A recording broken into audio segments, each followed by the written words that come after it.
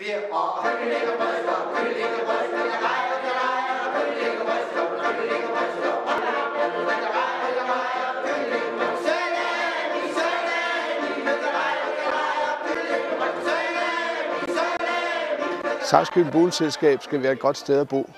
Vi skaber socialt sammenhold.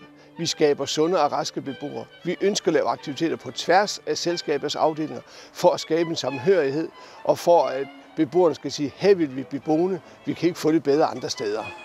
Bagtanken er, at når vi skaber alle de mange aktiviteter i selskabet, så bliver beboerne boende i deres afdeling og dermed til at styrke den pågældende afdeling.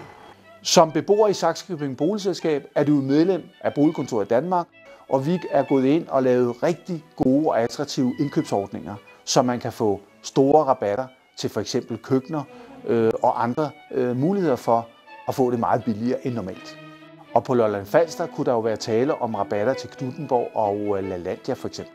Det drejer sig om for os, det er, at der kommer mere værdi til beboerne, og det er Saxkøbing Boligselskab og deres bestyrelse rigtig, rigtig dygtige til. Vi bruger Saxkøbings dejlige grønne omgivelser.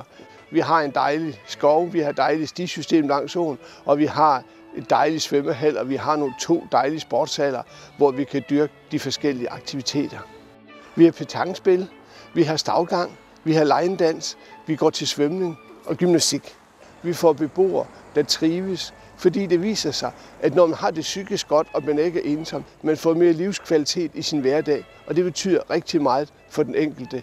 Vi har øh, udflugter til andre seværdigheder i Danmark og i landsdelen, og vi har jo de her turneringer afdelingerne imellem, det gør, at vi er ude og kæmpe for vores afdeling. Det betyder, at, at når vi vinder over en anden afdeling, så har vi det godt sammen, og vi kan nyde sejren sammen. Vi har noget at se tilbage på, og vi har noget at se frem til, og i forventningens glæde, at de her aktiviteter bliver gentaget.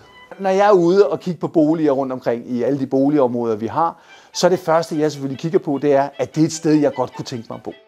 Og jeg må erkende, at når jeg kommer til Saxkøbing, så er der mange afdelinger. Der er specielt et par stykker, som jeg siger, der kunne jeg godt tænke mig at flytte ind. Og det er jo specielt øh, nogle af boligerne, der ligger nede ved havnen. Hvem her i landet øh, har boliger, der ligger 5 meter øh, øh, fra havnen og med en fantastisk udsigt øh, og et dejligt miljø?